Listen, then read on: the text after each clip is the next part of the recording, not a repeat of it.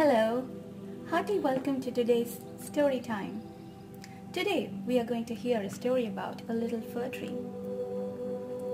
Once there was a great forest, a forest filled with beautiful trees, friendly animals, singing birds, flowing waters.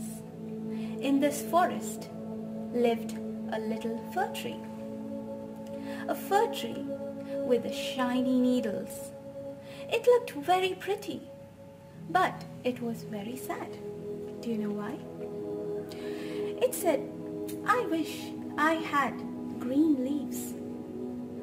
The mango tree has green leaves. The gulmohar tree has green leaves.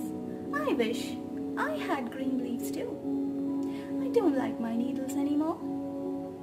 The god of the forest, who loved everything in the forest, who took care of all the plants, birds, waters, flowers, said, I will make little fir tree happy by giving it green leaves. And the next morning, when the little fir tree woke up, it had green leaves. Oh, lush green leaves! I am so happy. Tralala, tralala, said the little fir tree. That afternoon came a hungry goat. Meh, meh, meh. You know what a goat says, right? And it saw the little fir tree. Oh, lush green leaves. Today I'm going to make a feast on them. Meh, meh. And saying that, he ate up all the green leaves. Oh, the little fir tree was sad again. Oh, all my green leaves are gone. I guess I'm not meant for green leaves. I wish I had gold leaves, thought the little fir tree. I would look so glittery and pretty. I don't want my needles anymore. I wish I had gold leaves, thought the little fir tree. And the god of the forest said, I shall make little fir tree happy by giving her gold leaves. And the next morning, when the little fir tree woke up, it had glittery gold leaves. Oh, how happy I am! Tralala, tralala, said the little fir tree. Then came a greedy man. He looked at the glittery tree. Ha ha ha! Look at that tree. It's golden and glittery. I'm going to pluck all the leaves and become the richest person in the world. Saying that, he just plucked up all the gold leaves. The little fir tree was in tears again. Oh, I lost my gold leaves. I wish I had glass leaves. The goats cannot eat them. The men cannot pluck them. I wish I had glass leaves. And it had tears and just slept. The god of the forest felt bad for the little fir tree. He said, I will make little fir tree happy by giving her glass leaves. The next morning, when the little fir tree woke up, guess what? It had glass leaves.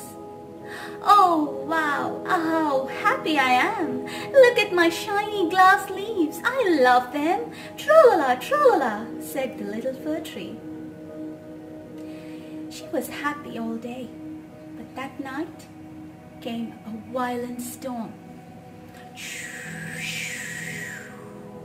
How did the storm go? Saying that, the storm broke all the glass leaves. The little fir tree gave up. She was very, very sad. She thought about green leaves, the golden leaves, and the glass leaves, and cried. Oh, I'm so sad. I think I was doing best with my own special needles. I looked pretty with them. I wish, oh God, I wish I had my needles back. The goats could not eat them. The men cannot pluck them. And the wind cannot break them. I wish I had my needles again. thought the little fir tree. The god of the forest came to the little fir tree and asked her, Oh, little fir tree, I gave you whatever you wanted. Are you sure you're going to be happy with your needles again? Oh, yes, oh, yes, cried the little fir tree. Please give me my needles again. I learnt my lesson. I was happiest with my needles. And the next morning, when the little fir tree woke up, she had her needles back. Oh, oh, how happy I am! Trulala, trulala, trulala, danced the little fir tree. So little kids, what did you learn today? You are unique. You have different abilities. You are special in your own way. Always love yourself because there cannot be anyone like you. Always be happy with whatever is given to you because there's a reason for it. Hope you enjoyed today's story. Till next time, bye-bye.